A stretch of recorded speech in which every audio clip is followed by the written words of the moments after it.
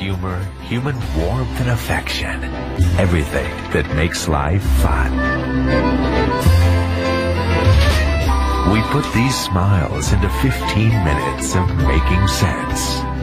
So relax with your hosts, Mitani Koki and Shimizu Michiko. Dokomo Making Sense. This program is brought to you by Dokomo. The Smart Choice. Wit and humor. You'll find it here on Dokomo Making Sense. 皆さんこんばんは清水美智子ですこんばんは三谷幸喜です。私あのー去年の暮れにはいタイムショックに出たんですよねへそしたらあのすごくいい感じで、まあまあ自分に適した問題が出てたのか自分は6問ぐらいかなと思ったら5問ぐらい当たったんですよ。まあ大したことない 下がってるえ。五問？逆だ。5問もできるかなと思ったら6問いったとか、まあ、そういうような感じだったの、はい。それで運が良かったんですよね。それでちょっとあのギャグ言ってもちょっと受けるみたいな感じでそれでその運が強かったのか、決勝まで行ったんですよ。すごくない、すごいすごい。うん、でななんか浅木邦子さんとかそういうような面々と戦うようなとこまで行ったんですよね。でまさかの展開でみっちゃんがみたいなになったからはい。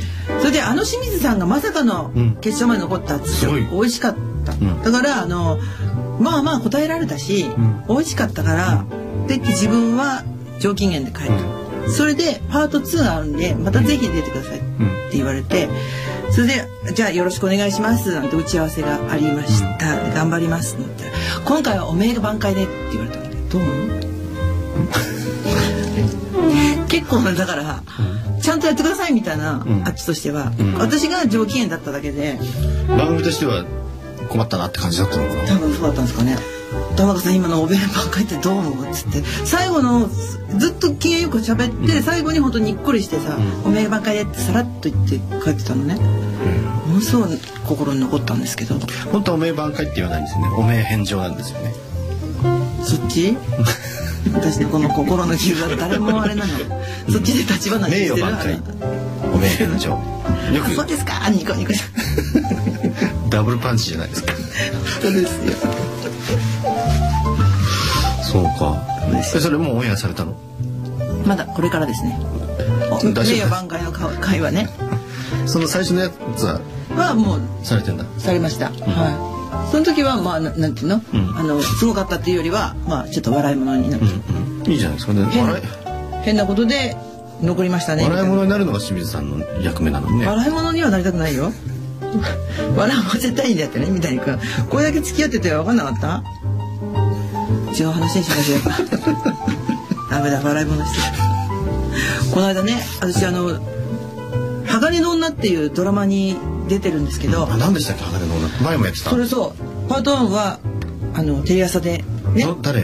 やって吉瀬美智子さんが主役なんですけど、それなかなか面白い話なんですよ。うん。鋼ってどういう意味？えっと、鉄の中でも一番強いのが鋼って言われてるんだけど、彼女はあのいざっていう時に鋼のようになって生徒たちを守る。先生なんだ。そう先生役、で私はその同僚の先生,、役なんですよね、もう始まったわけなんですけど、その収録の時って、あのバナナマンの設楽さんも同僚でいるんですね、先生がね。うん、ではまあ当たり前の話ですけど、やっぱバラエティーと何が違うって、その休憩時間でもさ、こうはしゃいだりとかしない、うん。真面目じゃないですか、役になりきってる人もいるので、あんまりテンション上げてそうですよ。ね。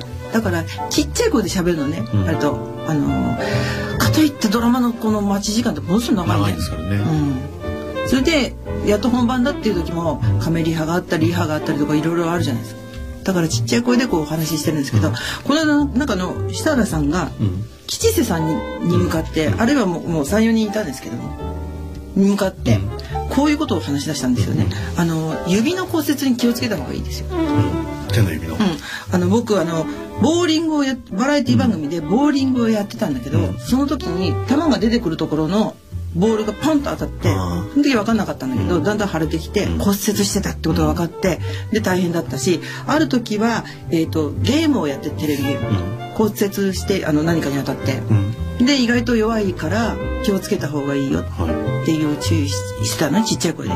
で私もそれを聞いてあのちっちゃい子でね、言葉は悪いけど、その気持ちは嬉しいけど、骨折はしないよって言ったのね指を。この やっぱり人間は、先端ほど神経が末端ほどね、通ってるもんだから、意外としないと思うんですよ。で足とか腕とかは、あんまり神経がこうしょっちゅういってないから、あっていう時に気抜くと骨折する。とかね。